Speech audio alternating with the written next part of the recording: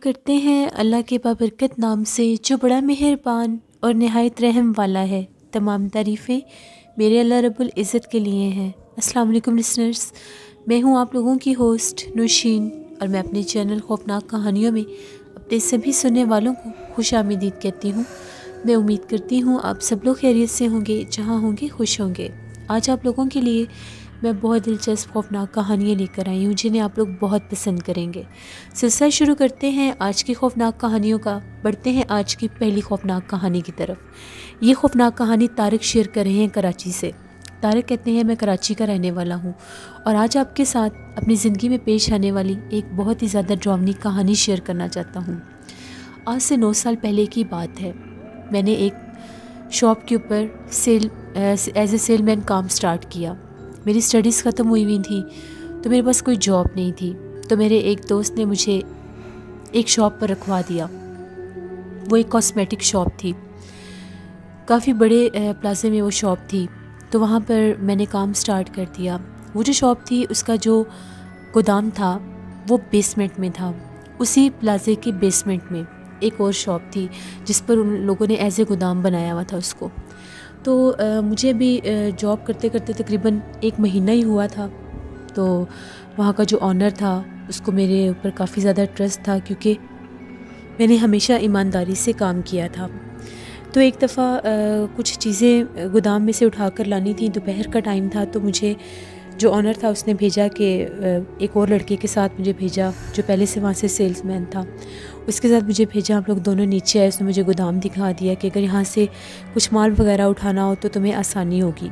जब हम लोग आए, अभी हम लोग आए थे तो वो जो बेसमेंट था, वो बिल्कुल गैर आबाद था। वहाँ पर कुछ ही ऐसी शॉप्स थी, जिन्होंने अपने गोदाम बनाए हुए थे और वो तकरीबन बंद ही रहते थे। जब कभी ज़रूरत होती थी तो गोदाम में से माल उठाना या रखना होता था तो तब वो इस्तेमाल में होते थे। काफ़ी बड़ा बेसमेंट था और बिल्कुल गैर आबाद था। दिन के टाइम भी वहाँ से उस एरिए को ही देख अजीब सी वहशत हो रही थी। मैं अपने उस मेरा दोस्त भी था जो सेलमैन था इस्लाम दुआ होगी थी। तो मैंने उसे कहा कि ये कितना गैर आबाद है, कितना वीरान सा है। तो बस उसने ये कहा कि ऊपर वाले जितने भी फ्लोर्स हैं, वहाँ पर ही सारी शॉप्स हैं तो भी यहाँ पर कोई सेटअप स्टार्ट नहीं हुआ। ज़्यादातर लोगों ने इस जगह को गोदाम बना दिया है तो इसलिए ये गैर आबाद लग रहा है। जैसे ही हम लोग, हम लोगों की जो दुकान का गोदाम था, उसके तरफ़ बढ़ने लगे तो वो काफ़ी ज़्यादा एंड में था। काफ़ी अंधेरा था दिन के होने के बावजूद, बेसमेंट था, अंधेरा महसूस हो रहा था। कहीं कहीं कुछ वेंटिलेटर थे जिनमें से रोशनी आ रही थी। मुझे एक से दो दफ़ा ऐसा लगा, जैसे हमारे पीछे भी कुछ चल रहा है। मैंने पीछे पलट कर देखा, बहुत ज़्यादा इतना वो क्लियर सा अपीयरेंस थी, एहसास था, जैसे बिल्कुल पास से कोई गुजरा है, या पास जैसे बिल्कुल पीछे कोई आकर खड़ा हुआ है। मैंने पीछे पलट कर देखा तो वो कहने लगा, क्या हुआ है तुम्हें? मैंने कहा, मुझे ऐसा लगा कि मेरे पीछे कोई आया है, कोई चल कर जैसे पास से गुजरा है। उसने कहा, नहीं, ऐसा कुछ नहीं है ये बेसमेंट है, यहाँ पर हवा का उस तरह से जैसे पास आउट नहीं है, हवा का सही से नहीं है तो इसलिए तुम्हें महसूस हुआ होगा, और कुछ नहीं है। खैर, हम लोगों ने गोदाम में से कुछ सामान निकालना था। वो खोला, काफ़ी ज़्यादा बड़ा गोदाम था वो।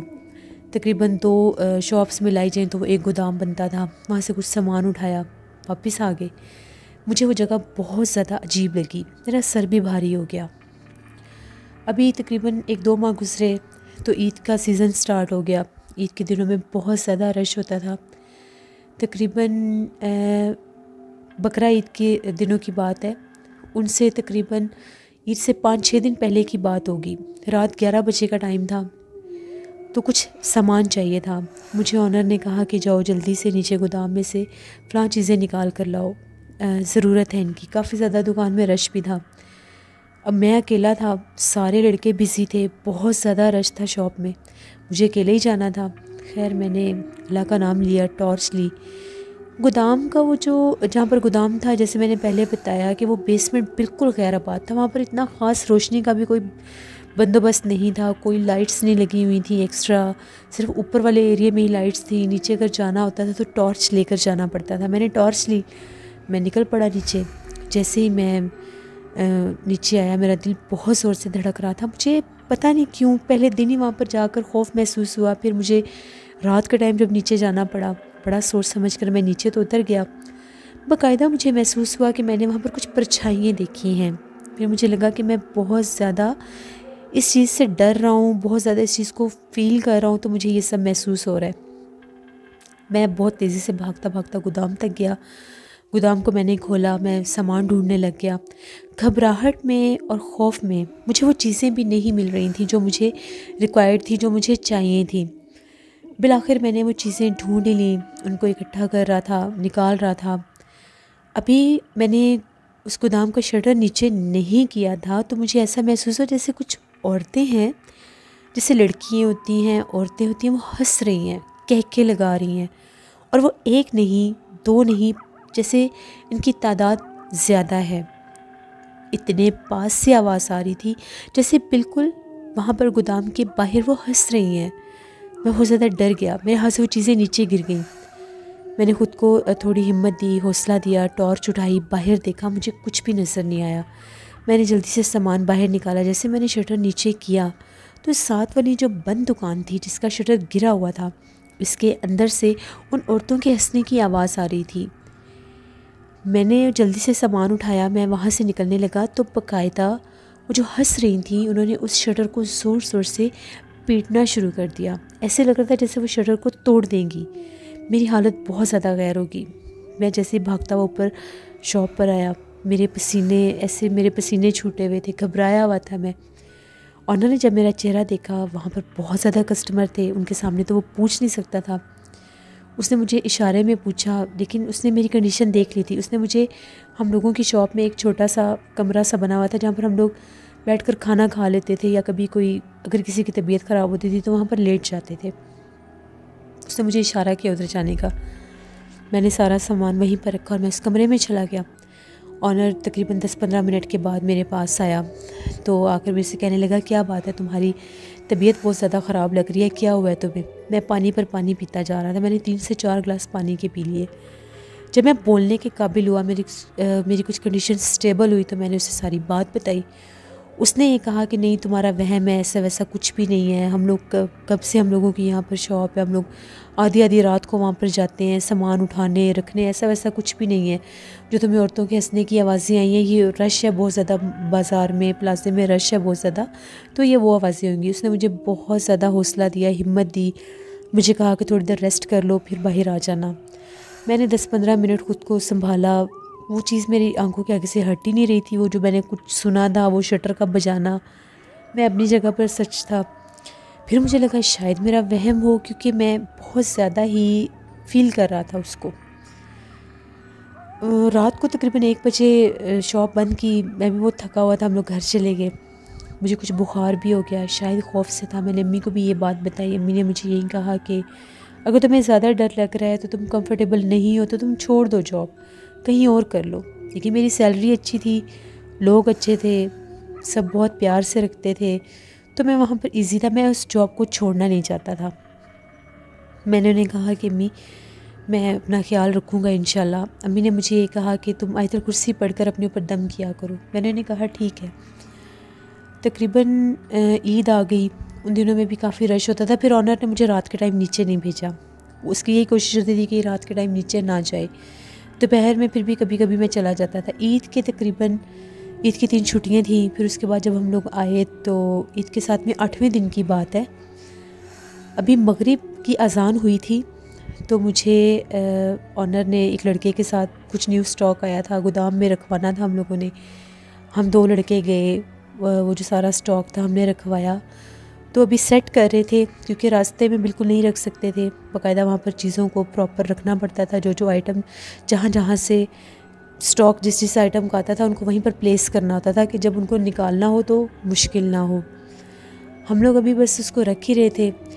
वो जो मेरे साथ लड़का था, उसके, उसको कोई कॉल आई और वो फ़ोन सुनता सुनता बाहर निकला।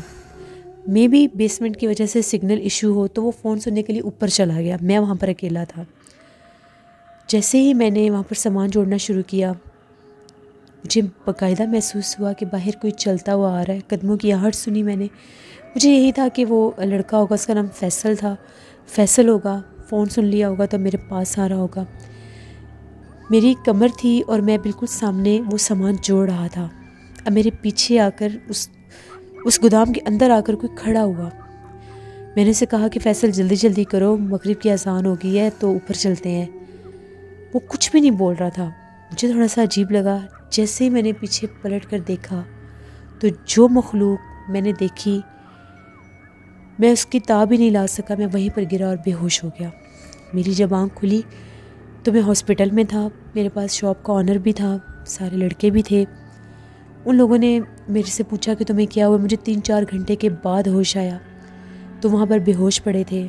फिर मुझे वो मखलूक याद आई मैंने देखा कि जब मैंने पीछे मैं पलटा हूँ तो मैंने वहाँ पर तीन औरतें खड़ी हुई देखी। वो औरतें बहुत ज़्यादा भयानक थीं। उनके कद बिल्कुल छोटे छोटे थे। उनके चेहरे बहुत खौफनाक थे। गले वाली जगह के ऊपर बहुत बड़ा सुराख था। पूरे जिस्म के ऊपर बाल ही बाल थे और पाँव इतने लंबे थे कि वो शॉप में पीछे खड़ी थी और पाँव मुझ तक आ रहे थे उनके और उल्टे पाँव थे। बड़े बड़े हाथ बड़े बड़े नेल्स दांत इतने लंबे थे, नाक वाली जगह पर सुराख था। आँखें अजीब, इतनी बड़ी बड़ी आँखें थी। मुझे समझ नहीं आई कि मैंने क्या देख लिया है और बहुत काले रंग थे। मैंने उन्हें सारी बात बताई। ऑनर ने भी जब देखा कि ये इतना झूठ नहीं हो सकता, इसकी ये हालत हो गई है, फिर, जब मैं वहाँ हॉस्पिटल से मुझे सीधा मेरे घर पहुँचाया गया अम्मी ने उसी वक्त ऑनर भी साथ था, उनको कह दिया कि ये दोबारा इस काम पर नहीं आएगा क्योंकि ये पहले दिन से डर रहा है। जब जब से ये वहाँ पर गया है, हमें बताता है तो माजरत ये अब शॉप पर काम नहीं करेगा। उन्होंने कहा कि ठीक है, अगर इसकी तबीयत ठीक होती है, ये मानता है तो ये फिर आए, नहीं तो जैसे आपकी मर्ज़ी। मुझे मेरी अम्मी एक पीर साहब के पास लेकर गई। सैद साहब थे, उन्होंने दम किया, मेरे से सारी बातें पूछी। मैं बहुत ज़्यादा डरने लग गया था। उस रात भी मैं चीखे मारता रहा। मुझे ऐसा लग रहा था वो मखलूक मुझे डरा रही है। जब उन्होंने दम किया तो उनका ये कहना था कि वहाँ पर बदरूहों का मस्कन है, जो बेसमेंट है। वहाँ पर बहुत ज़्यादा जन्नात हैं, शयातीन जन्नात हैं, बदरूहें हैं, चुड़ैलें हैं। उन्होंने अपना आप मुझ पर ज़ाहिर किया। मुझे वो नज़र आई। उन पीर साहब का ये कहना था कि कुछ इंसानों के खून बहुत हल्के होते हैं। जिनके ऊपर ये चीज़ें ज़्यादा जल्दी असरानंदाज होती हैं, उनको अपना आप ज़ाहिर करती हैं, उन पर साया जल्दी हो जाता है, उनको गैर मरी मखलूक़ नज़र ज़्यादा आती हैं तो शायद मेरे साथ भी वही प्रॉब्लम था। फिर उन्होंने मुझे सख्ती से मना कर दिया कि वहाँ पर नौकरी नहीं करोगे तुम। अगर दोबारा वहाँ पर जॉब के सिलसिले में जाओगे तो तुम्हें जाने नुकसान भी हो सकता है। अब उनकी नज़र तुम पर पड़ चुकी है तो वो तुम्हें छोड़ेंगी नहीं, किसी रूप में भी सामने आ सकती हैं। तावीज़ दिया उन्होंने मुझे, मैंने गले में तावीज़ पहना, कुछ पीने के लिए दिए। तब जाकर मैं कुछ बेहतर हुआ। काफ़ी टाइम मुझे लगा दो तीन महीने लगे मुझे स्टेबल होने में, मैं घर से बाहर ही नहीं निकलता था, मुझे इतना खौफ आता था। वो चेहरे मेरी आँखों के आगे से हटते नहीं थे। मैं चीखे मारने लग जाता था, ख्वाब ड्रॉवने आते थे। ऐसा लगता था कोई मेरा गला दुबार है। शायद कुछ वो नफसियाती असर भी हो गया था, लेकिन जो कुछ मैंने देखा, मैं उसको फरामोश नहीं कर सकता। अब मैं बिल्कुल ठीक हूँ। अब मेरी अपनी एक शॉप है। क्योंकि अबू ने फिर उसके बाद मुझे हम लोगों का अपना बिज़नेस बना दिया। मैं और मेरा भाई अब अपनी शॉप हम लोगों की है। अब मैं बिल्कुल ठीक हूँ। अल्लाह का शुक्र है। ये मेरी ज़िंदगी की कहानी थी जो मैंने आपके साथ शेयर की। बहुत शुक्रिया तारिक आपका। बढ़ते हैं एक और ख़ौफनाक कहानी की तरफ़। ये खौफनाक कहानी हामिद शेयर कर रहे हैं डीजी खान से। हामिद कहते हैं कि आज आपके साथ अपने वालिद साहब की ज़िंदगी में पेश आने वाली एक बहुत ही ज़्यादा ड्रावनी कहानी शेयर करना चाहता हूँ। मेरे वालिद साहब बताते हैं, आज से तकरीबन 20-25 साल पहले की बात है। तो उस वक्त मेरे वालिद साहब जो थे, वो गाँव में रहते थे। हम लोग छोटे छोटे थे। गाँव जो था, वो भी डीजी खान से आगे था, वहीं पर ज़मीनें थीं। तो अबू कहते हैं कि एक दफ़ा मैं गाँव वापस आ रहा था, वो किसी दूसरे गाँव में गए हुए थे। वापसी पर उनको काफ़ी ज़्यादा देर हो गई। तो गाँव बहुत ज़्यादा, जैसे कच्ची सी आबादी थी तो गाड़ियाँ अंदर तक नहीं आती थी, बाहर मेन रोड पर ही उतार दिया करती थी। चूँकि रात काफ़ी ज़्यादा थी तो अबू कहते हैं बहुत सन्नाटा था, सर्दी का मौसम था, धुंध भी थी। अबू कहते हैं कि मैं आहिस्ता आहिस्ता चलता हुआ अपने गाँव में आने लगा। तो जो गाँव का बैरूनी हिस्सा था, जहाँ से गाँव शुरू होता था, वो सारा वीरान और सुनसान था। तकरीबन एक किलोमीटर चलना पड़ता था, उसके बाद फिर आगे आबादी के कुछ हिस्से शुरू होते थे।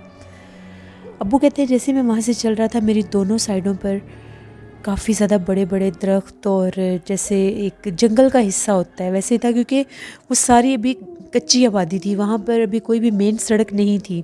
काफ़ी कदीम और पुराना वो गाँव था। अबू कहते हैं, जैसे मैंने चलना शुरू किया तो मुझे गाय की आवाज़ सुनाई देने लग गई। वो थोड़े से परेशान हो गए कि इतनी रात को गाय की आवाज़ आ रही है, शायद ऐसा ना हो कि किसी ने किसी का कोई जानवर खोल लिया हो। अक्सर लोग अपने घरों में के बाहर भी जानवर बाँध दिया करते थे, घरों में एक ऐसी जगह बना देते थे, जहाँ पर अपनी गाय भैंस से बाँध दिया करते थे। अबू कहते हैं, गाय की आवाज़ मुझे बहुत ज़्यादा ना पास से आने लग गई। ऐसे लग रहा था कि गाय बहुत करीब से बोल रही है, जैसे साइडों पर दरख्त हैं तो वहाँ से। अबू ने इधर उधर देखना शुरू कर दिया तो वो कहते हैं कि मुझे एक दरख्त के पास से चार चमकती हुई आँखें नज़र आईं। काफ़ी बड़े साइज़ की आँखें थीं और वो आँखें चमक रही थी और गाय के बोलने की आवाज़ आ रही थी। आँखें चार थी और जो गाय बोल रही थी, वो एक ही आवाज़ थी। अबू कहते हैं कि मैं थोड़ा सा परेशान हो गया।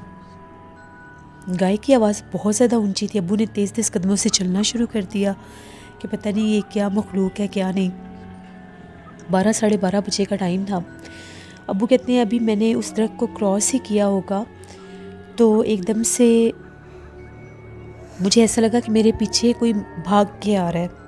थोड़ा सा ये भी आगे गए थे। अबू कहते हैं, मैंने देखा कि सफ़ेद कलर की गाय है, जिसके दो मुँह हैं। इतनी तेज़ी से भागती हुई आ रही है कि जैसे मुझे टक्कर मार देगी। अबू डर के, बिल्कुल एक सड़क के वो जो दूसरी तरफ़ दरख्त थे उनकी तरफ़ भागे और ज़मीन पर बैठ गए।